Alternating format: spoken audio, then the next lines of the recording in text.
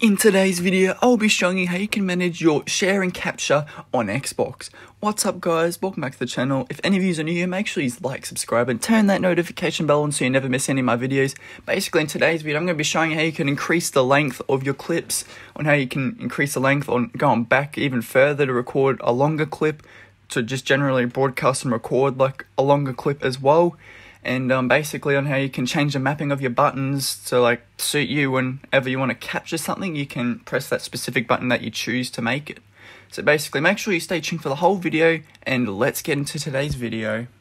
So the first step you want to do guys is press your Xbox home button on your controller and head all the way over to settings. And once you're in settings you want to head down to preferences.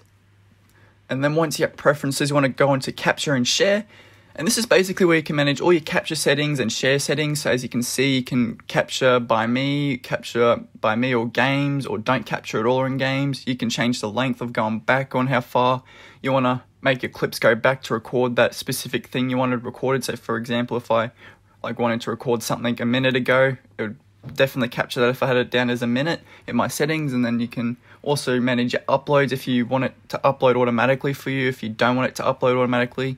And this is where you can also increase the length of your clips. Unfortunately you can only record up to 1 minute in 180p and then in 720p it is 3 minutes. So you can't really broadcast that long on Xbox unfortunately but it is pretty cool. And then obviously in button mapping as you can see you can change the location of your press and share button to any of those specific buttons there and that's pretty much it. I'll quickly show you a shortcut on how you can actually get to these settings instead of going through the long way. So home button on your Xbox controller to that little share icon button where it says capture and share and then go down to capture settings and then it puts you in there. So that's a little shortcut and for today's video. So if you ever need to go that quickly, that's one way of doing it.